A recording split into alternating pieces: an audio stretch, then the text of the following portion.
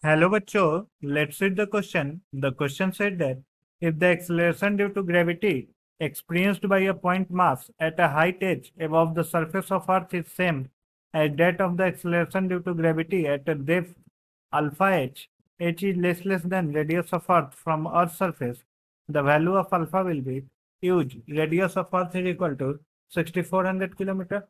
So we will solve this question. First of all, we will see what will be the key concept used to solve this question. The key concept that will be used to solve this question will be acceleration due to gravity at a height h when h is less less than radius of earth is given by g into 1 minus 2h by r where h is the height and r is the radius of the earth. Now acceleration due to gravity at a depth d is given by g into 1 minus d by r. Here we have been given d is equal to alpha h.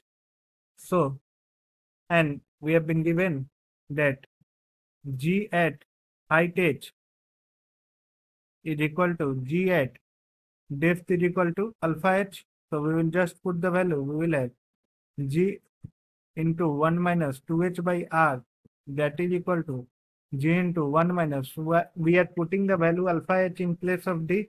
So this will be 1 minus alpha h by r.